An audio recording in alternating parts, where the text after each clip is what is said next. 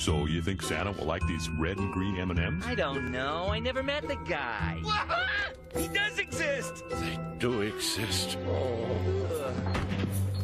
Oh, uh, Santa?